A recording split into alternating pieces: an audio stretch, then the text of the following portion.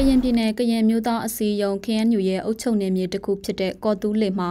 ကျောင်းသားတွေရဲ့နောက်ဆုံးစာမေးပွဲကိုဖြည့်ဆို့နေတဲ့ပုံဆိုပြီးလူမှုကွန်ရက်မှာပြန့်နှံ့နေပါတယ်။နော်ဖောကညော်ဆိုတဲ့ Facebook အကောင့်ပိုင်ရှင်က March လ17ရက်နေ့မှာ Final Exam for the Children's in ကော်တူးလီဆိုတဲ့စာသားနဲ့အတူကျောင်းသားတချို့မြေကြီးမှာစာရွက်ကိုစီနဲ့စာဖြည့်နေတဲ့ပုံတစ်ခုကိုပါအတူတွဲပြီးဖော်ပြထားတာပါ။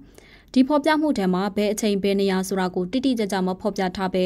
ကော်တူးလေလိုပဲဖော်ပြထားပေမဲ့ဒီ post ကိုပြန်လည်မျှဝေသူကလည်း4000ကျော်အထိရှိနေပါပြီ။တခြား Facebook အကောင့်နဲ့ page တွေမှာလည်းပြန်လည်ဖြန့်ဝေတာတွေရှိနေပါတယ်။မစ္စမရဲ့အချက်လက်စစ်ဆေးသူတွေကဒီပုံနဲ့ပတ်သက်ပြီးအချက်လက်စစ်ဆေးခဲ့တာမှာပုံဟောင်းတွေဖြစ်နေတာကိုတွေ့ရပါတယ်။ ဒီပုံနဲ့ VBiter ဆိုတဲ့ X အသုံးပြုသူတစ်ယောက်က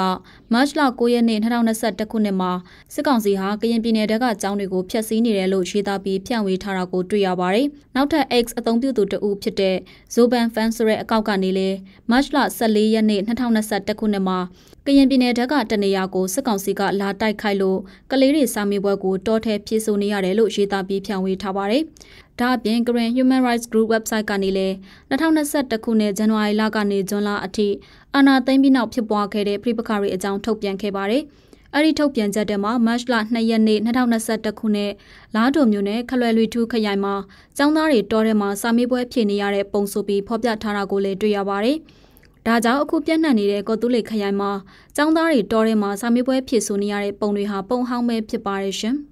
မြစီမသတင်းများဆက်လက်တင်ဆက်နိုင်မှုအတွက်တင့်ရဲ့ပံ့ပိုးမှုကိုလိုအပ်နေပါတယ်။ဒါကြောင့်အခုပဲပံ့ပိုးမှုကိုစတင်လိုက်ပါ။